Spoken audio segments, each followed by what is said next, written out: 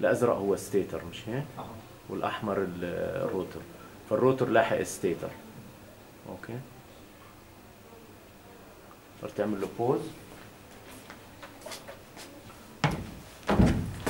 هذا. B rotor مش هيك؟ وهذا. B stator وهذا. هو mechanical rotor شايف مضبوط.